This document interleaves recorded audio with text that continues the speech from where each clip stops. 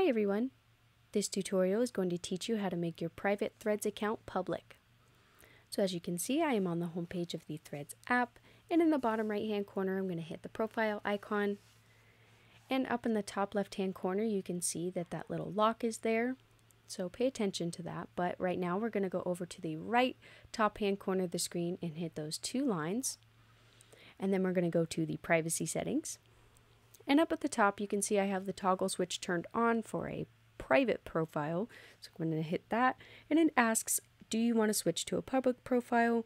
And anyone on or off threads can see and interact with your content. So I'm going to hit OK.